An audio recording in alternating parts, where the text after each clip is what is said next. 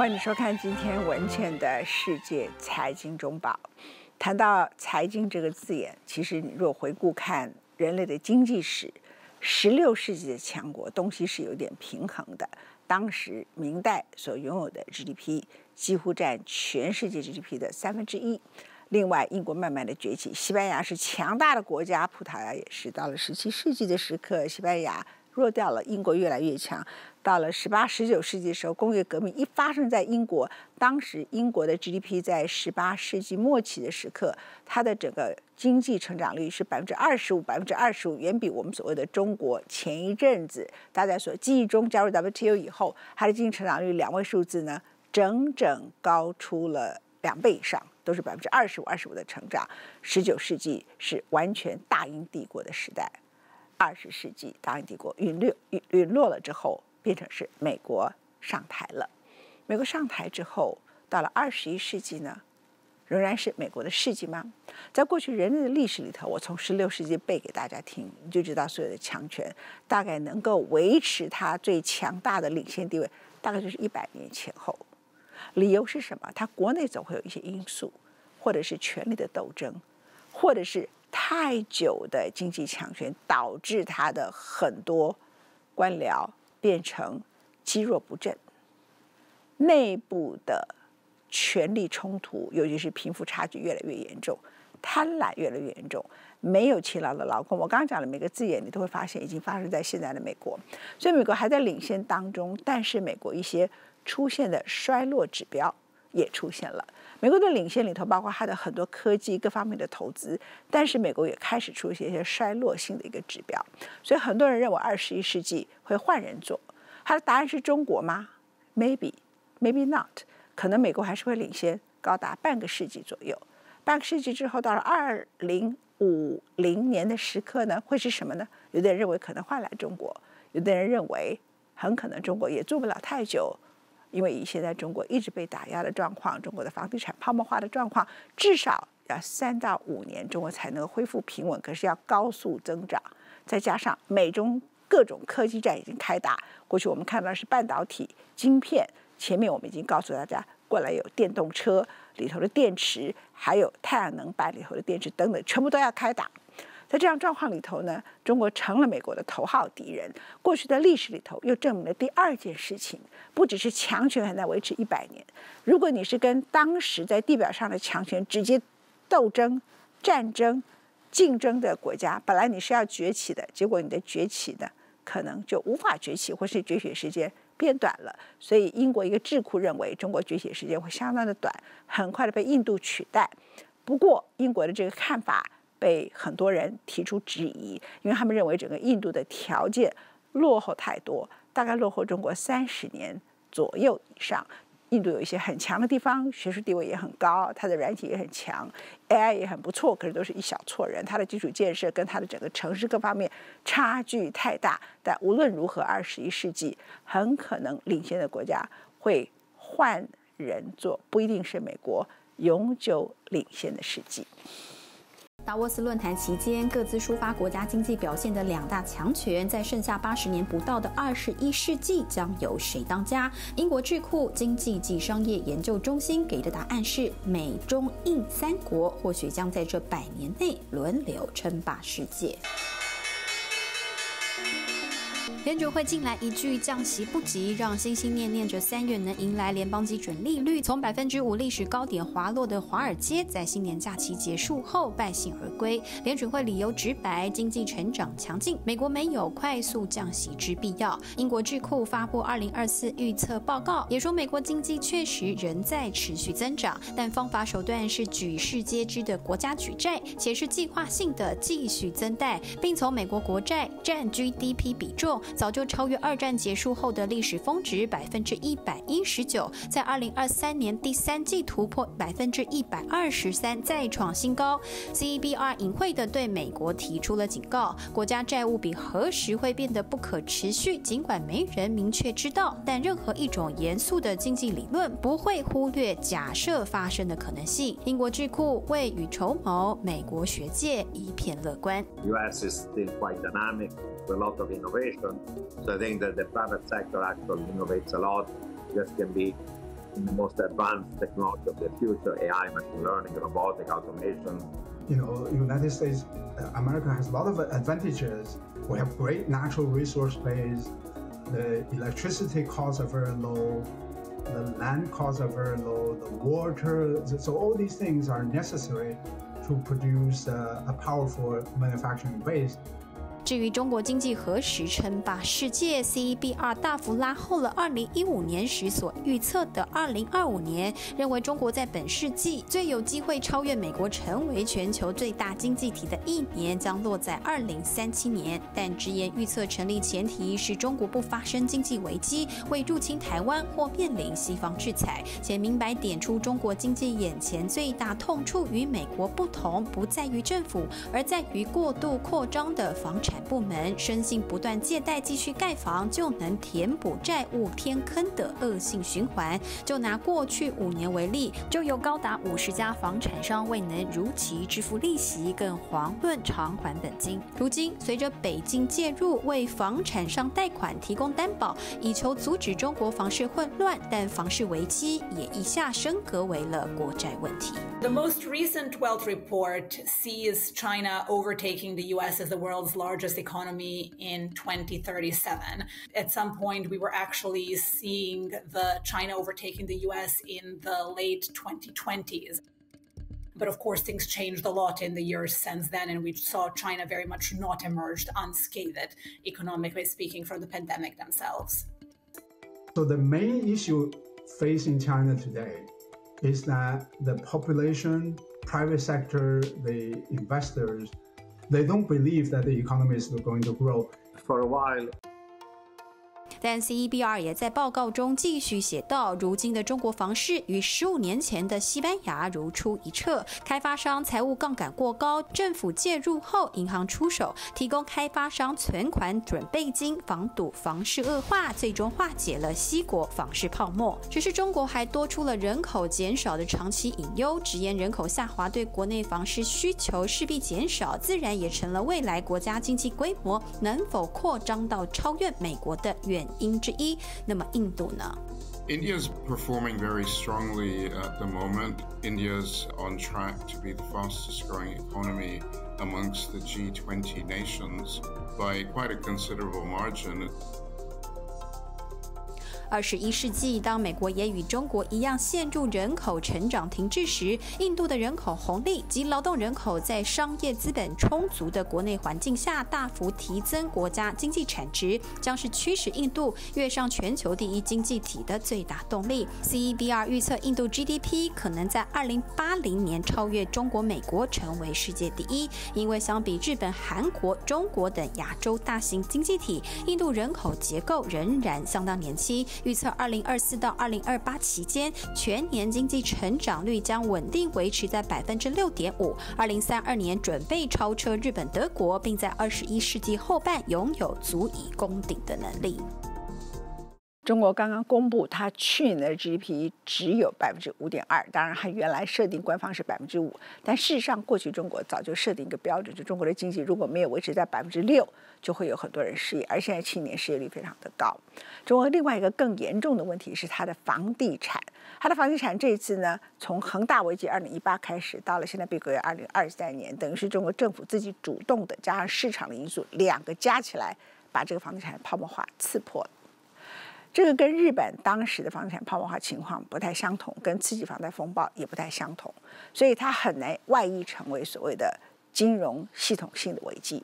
可是它一定会产生整个中国经济的停滞，这个停滞就是消失的五年、三年、十年，到底是多少年？有些人认为是三年，有些人认为是五年。我们今天特别要访问，事实上。他的祖父呢，是中国共产党成立的时候五十七个人之中其一。他的父亲当然在文革时候被整肃，那时候大多数的人都被整肃。后来他念了大概中国大多数的高干子弟，或是很多当时中国重点栽培的学生念的外外语学院，然后之后还没有毕业就被送到哈佛念 government，所以他是属于高干子弟，被送到了哈佛去。之后他也在其他的学校里头担任过教职，然后现在他是。麻省理工学院的管理学院的教授，他最擅长的是对中国经济现象的了解，还为我们来解释他自己本身认为，到底中国的经济是消失三年、消失五年，还是消失十年？而这一次造成整个房地产的泡沫，主要的一个原因是。房地产的快速成长里头，他认为最大的原因是当时整个房地产中国经济的快速膨胀，房地产的快速涨价里头，他把。钱都流进了政府的口袋，还有开发商的口袋里头，没有放在农民的口袋里头，所以一般人民根本没有受惠于中国这一次大幅的成长。在这样的情况之下，中国的消费因此严重的不足，而房地产一泡沫化之后，它就形成了经济的停滞。至于时间会多长，我们来看一下的分析。Evergrande, once China's biggest real estate firm, overbuilt and overpromised. Developers powered the real estate boom that boosted the Chinese economy. But now it threatens to stall the country's economic recovery. 由恒大开始的中国地产债务风暴，已引发一连串的效应。而中国经济是否会步入日本经济失去的三十年后尘，或者说 中国需要多长的时间来消化这场房市泡沫呢？我认为应该是三到五年。一日本从一九九零年破了以后，一直到今天，啊，我我记得很清楚，一九九零过了十年过去了，不知道到两千年吗？呃，就是大家称呼日本那十年叫做 the lost decade，失去的十年。啊，another lost。对，然后一下一下转眼就到二零一零了，哦。就变成 the lost decades 加一个 s 啊，现在多少？Three decades，就是这样。所以这个就是房地产的那个破灭哦，它对一个经济的影响其实非常非常大啊，在全世界都一样。对。那它虽然现在是自己戳破啊，也许比市场破要要早一点，要好一点，但是还是破了嘛。哦，破了的话就要很大的调整，哎，所以你你看日本破了以后，房价跌多少？然后就变成 deflation。东吴大学商学院讲座教授朱云鹏认为，房市泡沫对经济的冲击举世皆然，但中国却不同于日本1990年代的房市泡沫，因为这是中国经济转型的过程，要终结过去的发展模式。就是从中国的现在面临的经济挑战来讲呢，它不是说是一时一会儿形成的，这确实是过去中国一个发展战略造成的一个恶果。像这些问题的话，其实在中国的和美国的学术界，很多年我们都有讨论。另外，很多学者都提出建议，不能够按这种中国模式，就是重基建、不重民生的这种发展方式继续发展下去了。重基建就基础建设。基础建设，对基础建设。嗯。然后这种高度的城市化，用掠夺的方式来从农民那儿征求。Not long ago, this entire area was farmland. Now, it's a case study for how cruel the Chinese housing boom can be. Many here struck a deal with a developer, their land in exchange for new homes in the high rises sprouting up. Eight years later, the homes aren't finished, the people here still stranded.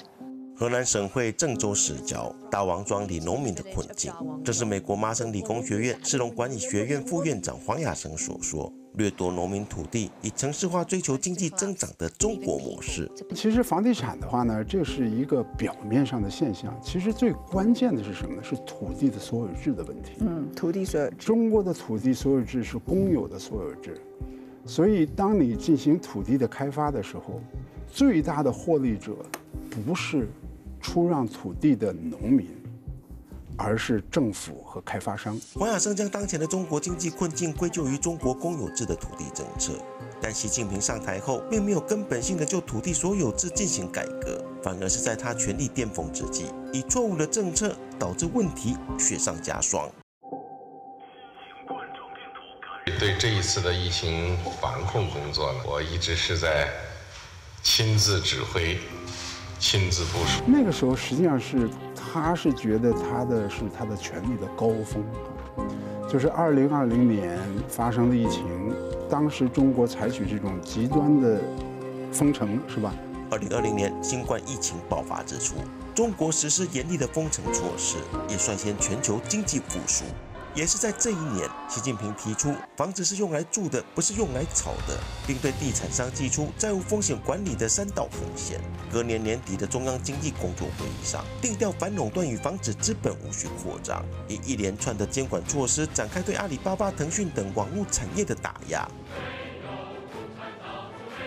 二零二一年，中共举行建党百年庆典，可说是习近平的权势巅峰。但中国的经济也开始出现问题。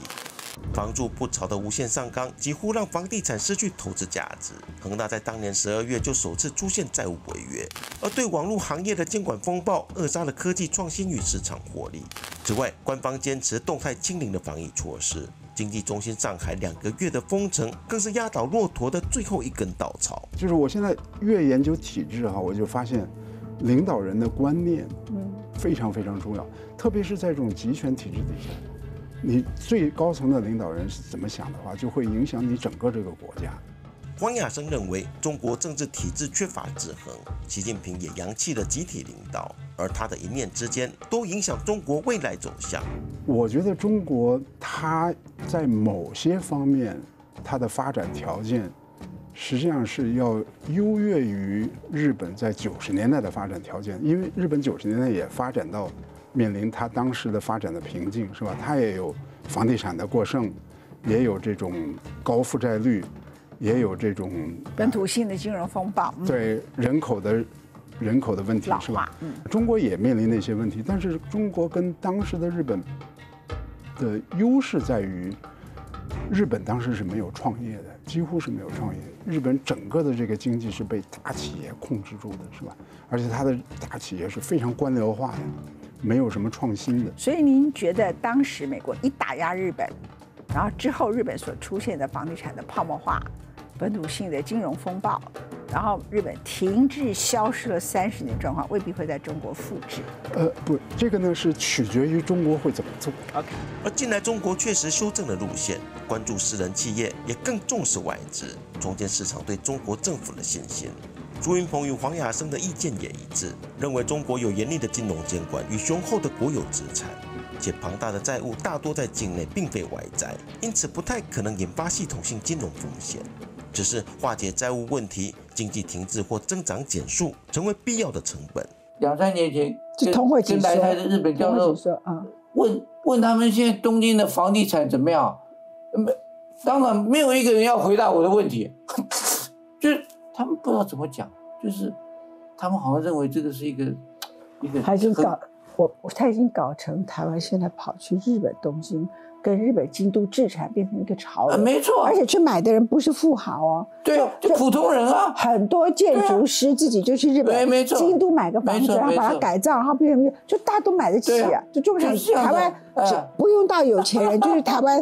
中上阶级、中产阶级，然后收入比较高的人就可以买得起日本的房子，对不对？可是日本人没有买，大部分的日本人没有买。为什么？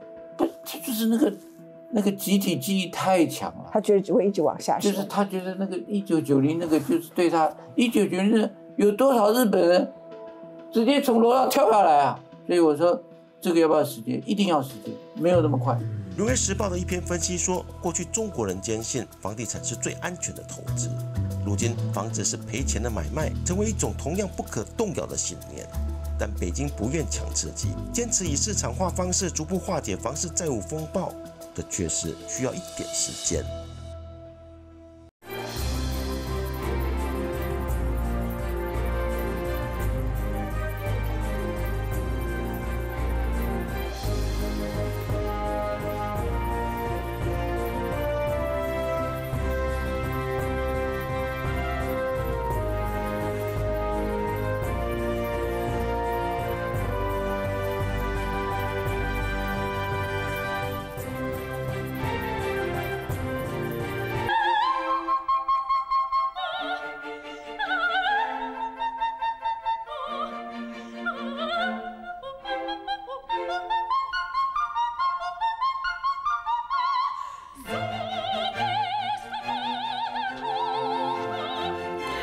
一只 iPhone 的手机连接到你银行的账户，同时连接到你很多 APP 里头可以支付的各种不同 Apple Pay 等等。如果你的手机被偷了呢？在美国二零二三年，一堆人手机 iPhone 被偷了，密码被拿走了，而且透过一些特殊的科技方式，它进入了你的支票账户，它进入你的加密货币的账户，它进入你的储蓄账户，就你的 Apple Pay，把你的钱给拿走了。方法是什么？《华尔街日报》做了一个调查报告，怎么做的呢？他到狱中里头去访问被抓到了一个大盗，说：“哎，你是怎么偷的？”他就教他说：“我是怎么偷？我跟对方聊天，然后他就没有了心房，然后接着呢，我就用一些方法就偷到了他的密码。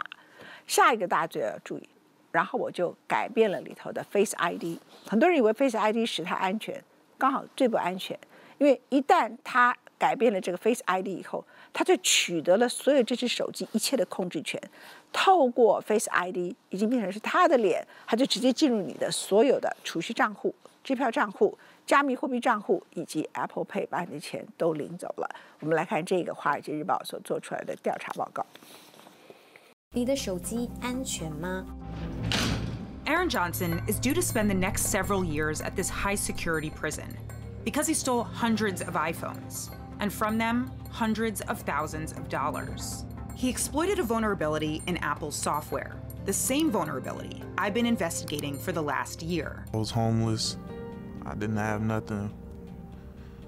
Started having kids and needed money, so I couldn't really find a job. In cities across the country, thieves are using the iPhone passcode to get into stolen phones and loot their victims' bank accounts and money apps and lock them out of their Apple accounts. Along with others, Johnson, seen here in red, would target people in and around bars in Minneapolis to get their phones and their passcodes.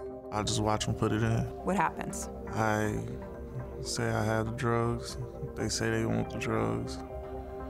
And I tell them, uh, take my information down. The whole time I don't have any drugs. So as soon as the phone's in my hand, I just ask them what's the code or I watch them put it in before they give it to me. And then I kind of just talk about other things. Is there an age of person you're looking for when you're out? College, because they're more partying and they're already drunk and don't know what's going on for real. I interviewed a number of Johnson's victims, all men under 30. I definitely had cocaine. They were like, Do you want to buy some? And I was like, No. Others told me Johnson would say he was a rapper and wanted to add them on Snapchat. Just a Snapchat, like that's just, that just seems normal. When I open up the phone and I hand it to him to put in, I lock the phone and then I tell him that it's locked or, or something wrong with your phone. It's locked on me. And then that's when they, okay, no problem. 266 or 4 or something, something, or they just do it for me. You ever videotape them? Yeah, videotaped a lot of numbers. Never did this people say, hey, you took my phone? Yeah. But by that time, it's already, I don't have it no more. So, what you Who has it? Whoever I pass it to. 因为 Johnson 有十一名同伴，到手的当下就立刻转手他人了。You've got the phone, you've got the passcode. What do you do next? It's kind of like a like a bank robbery. You gotta be quick. You gotta go to the settings and go to the iCloud, click reset password, and put the six-digit code in and make my own password. And then I turn on Find My iPhone. 这么一来，原用户不仅无法远程定位被盗手机，甚至无法删除被盗手机上的资料。How fast were you changing Apple ID passwords? Faster than you could say supercalifragilisticexpialidocious. Five, ten seconds. Like it got to that fast where I can do it just right there. With the passcode, Johnson removed the owner's face from Face ID and enrolled his own, making it easier to gain access to saved passwords to bank apps. This is my phone, right? You've gotten to my settings. Where are you going from here? So then I go add my face on there, on the Face ID verification. Now, when you got your face on there, you got the key to everything. So, what are you opening? Things that people thought were safe. Like? Savings, checkings, cryptocurrency apps. Venmo? Venmo, PayPal, yeah. You don't need face for none of that. That's kind of little money. I'm trying to take as much as I can. If Johnson couldn't unlock the apps with his face, he'd look elsewhere on the phone.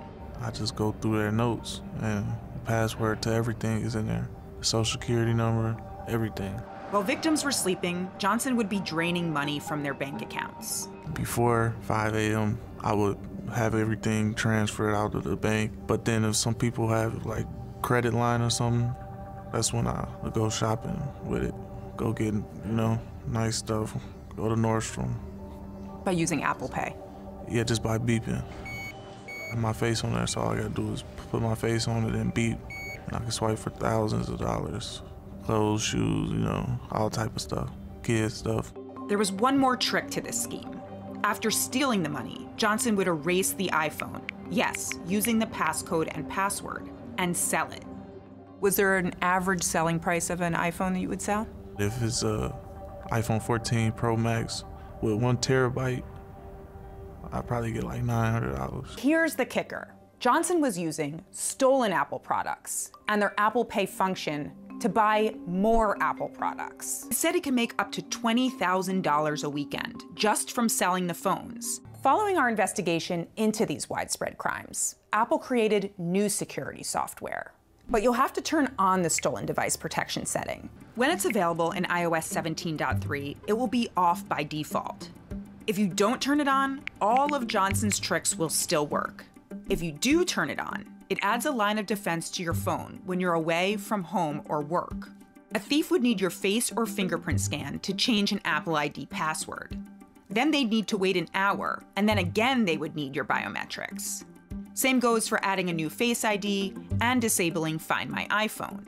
To access saved passwords, a thief would need your biometrics. Still, some apps like Venmo are vulnerable, and using Apple Pay to buy things would still work.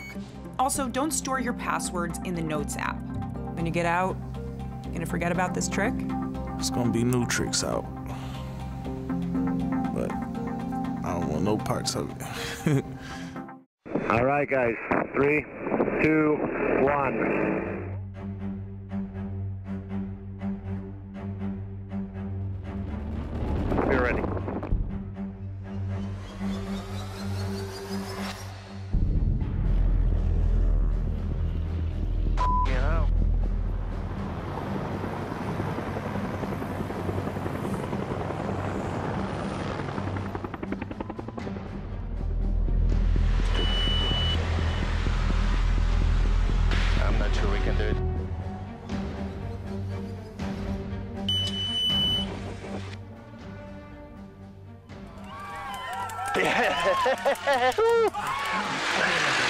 50s on bullseye. My friend.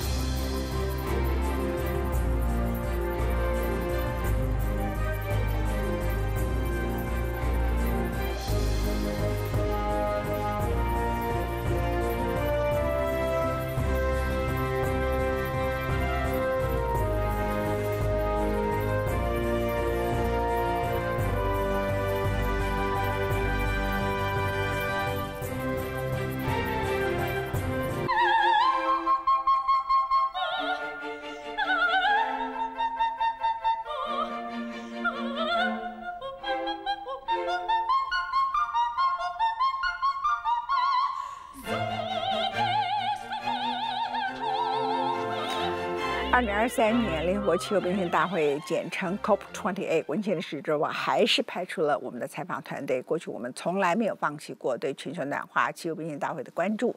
这一次呢，我们特派记者李瑞玉跟吴明书从当地带回来报道，有一个非常重要的，我们留在过年的时候播给各位观众朋友当成礼物。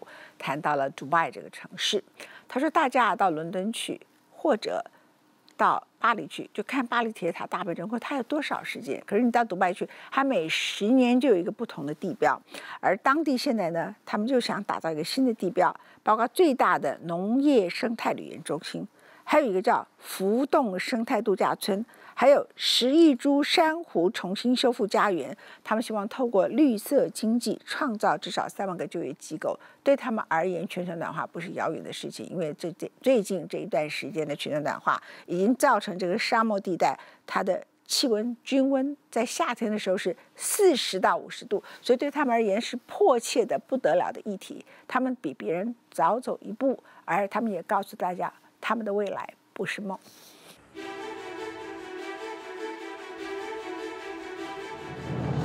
我们曾经以为对城市只能有一种想象：一座满布钢筋水泥的丛林，里头塞满各式车辆。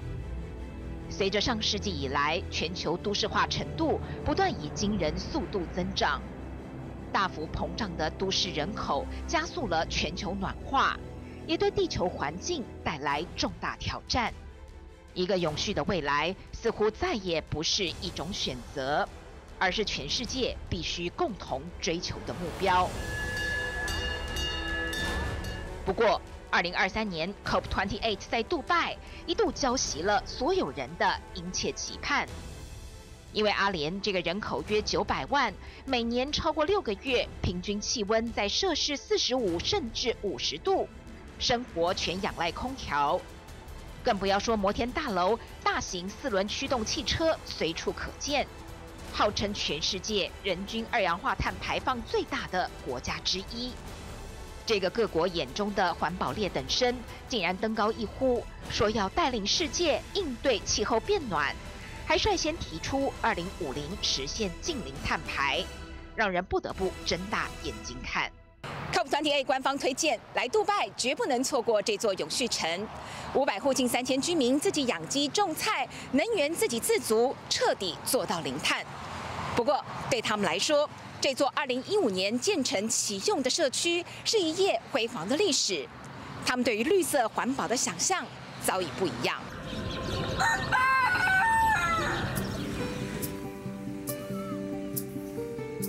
这里曾经是杜拜的骄傲，斥资千亿美元打造，在全球金融危机中诞生并屡获殊荣的全球第一座零碳绿色城市。目标是对环境不产生任何负面影响。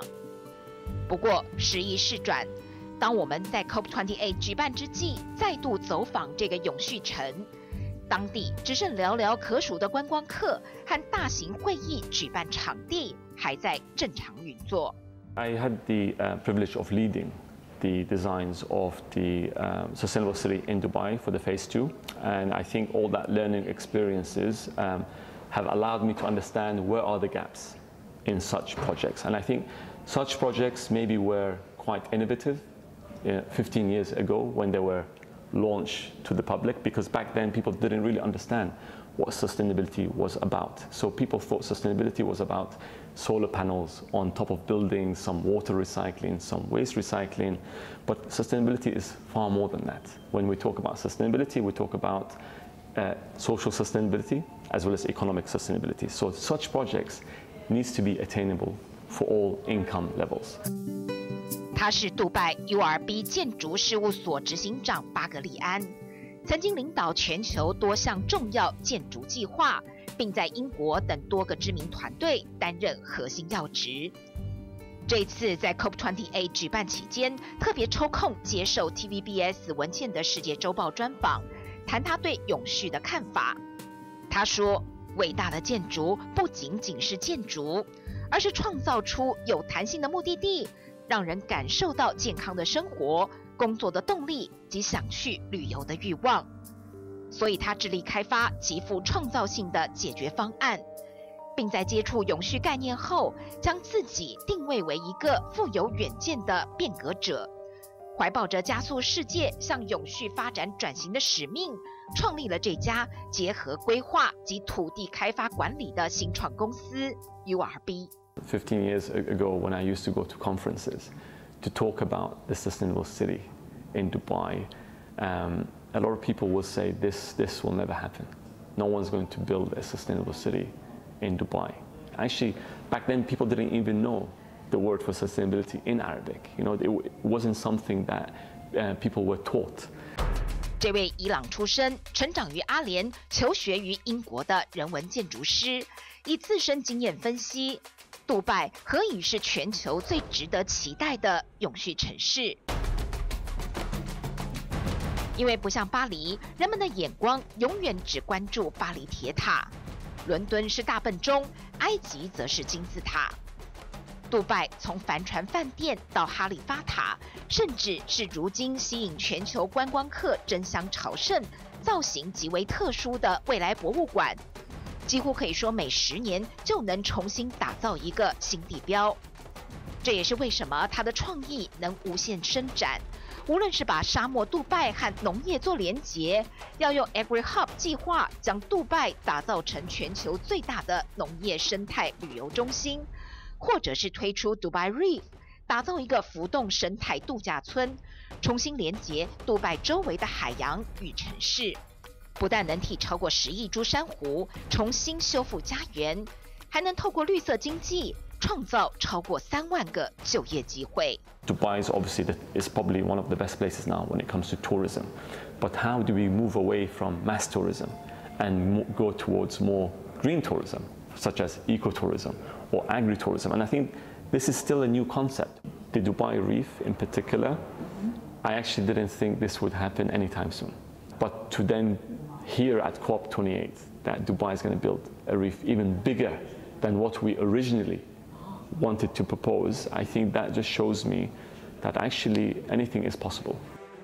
他对环保永续的中心思想，一如他二零二三年出版的最新力作《以人为本的都市创新》，全面翻转我们对既有城市景观的僵化思考。在手边这么多计划里，巴格里安坦言。在产油大国沙地阿拉伯首都利雅得打造阿尔纳玛这座智慧低碳城市，借由雨水储存再利用，并融合不同城市的农业方法，让沙漠幻化为一座海绵城市，是他最喜欢也最得意的作品。至于在杜拜当地建造一条全长九十三公里、全室内兼具人工天气控制的永续环形单车高速公路。则是他眼中最有希望实现的疯狂 idea。I think this many countries will always have a stereotype of their history, what what what they are really known for. And I think Dubai is now breaking that stereotype, and UAE in particular. And I think that itself is probably the most exciting thing to be part of. That people will say, you know what, this country came up with this project. Now we're going to use it in our um, uh, cities, right? 对他来说，杜拜是一个生活实验室，总是不断引进新观念、新科技，用最创新的方法实现人类先前以为不可能的梦想。这是杜拜最迷人的地方，也是 COP28 在杜拜举办，他希望留给世界的一张新名片。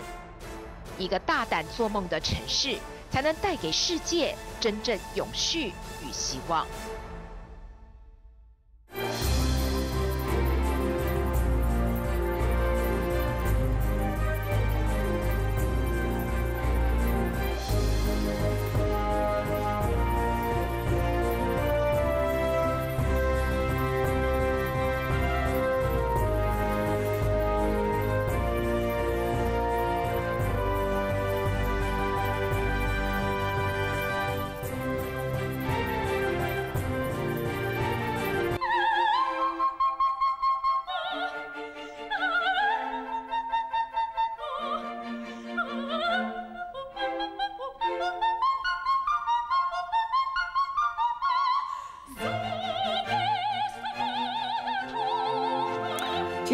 时代，其实在二零一五年以后就慢慢慢慢的出现，到后来 COVID-19 以后，它就速度越来越快，因为人力短缺的关系。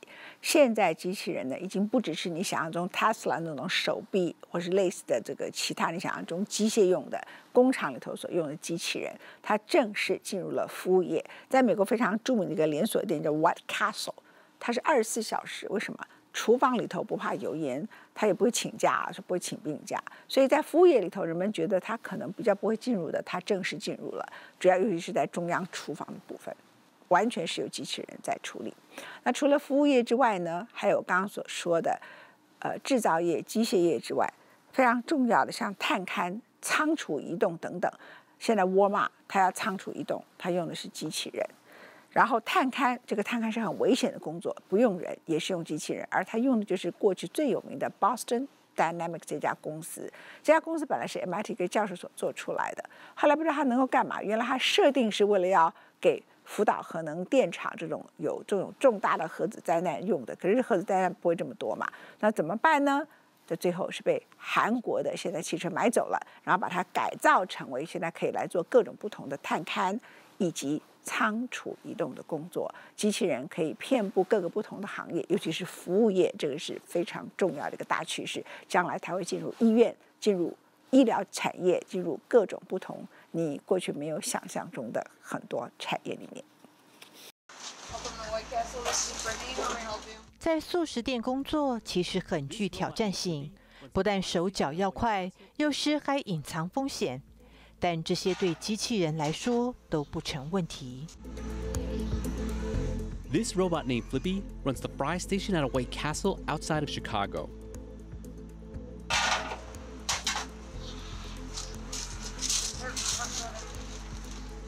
With its mechanical arm and using computer vision technology, Flippy can cook everything from french fries and onion rings to cheese sticks. 生产 Flippy 的 Missile Robotics 有一群工程师于2016年在加州帕萨迪纳一间车库中创立。如今，Flippy 已经进化到拥有一套规划整个烹调流程的演算法，以及管理机械动作的软体。Food is dispensed directly from the freezer into a basket. The robot's computer vision identifies the type of food and places it in the appropriate fryer. Once the food is cooked, the basket is taken out of the fryer, shaken, and dumped into a holding area where it is bagged by a worker. Flippy 动作序列精准，不会过度油炸，也不会不足。虽然它所费不赀，一个机器手臂，业者每月必须支付三千五百美元，约相当于新台币十一万两千。另外，Missile 还索取一万美元的安装费。 相较之下，素食店员工时薪仅十二点零七美元，约三百八十八元台币。但机器人可二十四小时工作，不会请病假，不会抱怨无聊，油炸出来的成品质量还很一致。一名领取最低薪资的餐厅员工，年薪两万美元，大约就是一台机器人的成本。白色城堡高层表示，打算在全美分店加装一百台 Flippy。Up to 82% of restaurant positions could to some extent be replaced by robots. Automation could save U.S. fast food restaurants over $12 billion in annual wages. 二零二二年，全美国估计有一千一百七十万人在餐厅工作，但薪水低，加上打工的青少年减少，以及对疫情的担忧，餐厅人手迅速流失。除了人力问题，机器人还可协助解决素食业从业人员的健康疑虑，像是吸入油烟以及高温等等。事实上，餐厅因为毛利率不高，自动化的脚步一向缓慢。但过去三十年来，机器人成本已腰斩，预料未来餐厅自动化程度会越来越高。Robots are hard to develop and they're expensive to develop. It takes a lot of time and money and frankly a lot of engineers to get all the technology working together smoothly. Miso makes money by having more and more robots in the field. 二零二一年，Miso 研发耗费一百五十万美元，薪资七百八十万，行销和业务开支六百万，管销费用六百多万，但营收仅三万六千美元。但如今 ，Miso 已成了这个领域最大也最知名的业者，如同外送替餐饮业带来革命性变化，餐厅的自动化也可能排山倒海而来。The UN says that by 2050, we'll have more plastic than fish in the ocean. Plastics become so prevalent that every person on the on the planet eats a credit card's worth of plastic a week. 原本利用机器人自动化披萨生产流程的 Zoom。如今在切入商机庞大的可持续包装市场，Zoom 研发出可以在自家后院分解并制作堆肥的包装材料——纸浆膜塑纤维。联合利华和百事可乐等公司目标是二零二五年前让包装百分之百可重复使用、可再生或可生物分解。Zoom 协助企业利用公司附近的材料。或者附近农场的农业废弃物，达成环保目标。We worked with some of the biggest brands in the world, and we solved their product problems. We helped give them a road beyond plastic. 一般而言，环保材质包装材料比较昂贵，例如，塑胶的汉堡包装盒大量采购时，一个成本约零点一三美元；纸浆纤维成本零点一九，比塑胶包装高出百分之四十六。Zoom 表示，他们的机器人是他们得以使成本维持低廉的法宝，因为可迅速制作精良的产品。We're using technology to advance the state of the art in molded fiber production so we can take many, many millions of tons of agricultural waste and turn it into not plastic. 波士顿动力的机器狗 Spot 有如科幻电影的流畅动作，赢得 YouTube 上破亿点阅率，让这家公司也跟着声名大噪。We look at ourselves as having mastered the ability to create robots with mobility, vision, and manipulation. And we think we can combine those in just almost an infinite number of ways at different applications. Every three to five years, we're going to roll out a new robot uh, targeting a new industry. Spot 与 Stretch 是位于麻州的波士顿动力目前试图商业化的两款机器人。例如，为 Spot 加上摄影机、热成像镜头、麦克风，Spot 便可上山下海收集资料。We see Stretch as ultimately a general purpose box moving machine that can be used anywhere in the warehouse. 分析师指出，探勘与仓储移动是当前机器人领域成长最快的两大市场。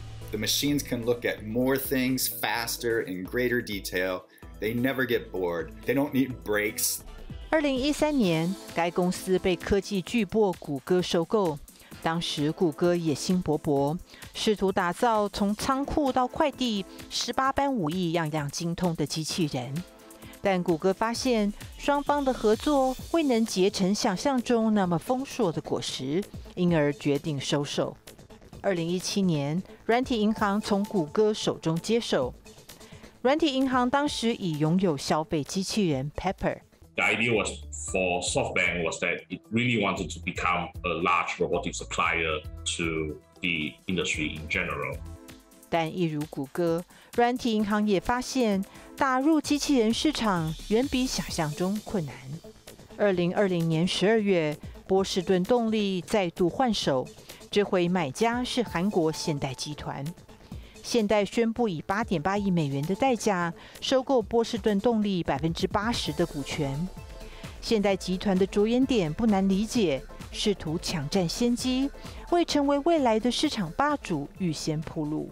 Revenue from mobile robots in the warehouse, manufacturing, and infrastructure spaces is expected to increase dramatically, from about 6.1 billion in 2020 to about 64.9 billion by 2030. 这块市场大饼有许多业者觊觎，渴望分一杯羹。亚马逊便是其一。波士顿动力预料，专攻包装箱移动的 Stretch 明年将上市销售。 至于精于探勘的 Spot，在二零二二年开卖后已售出数百台。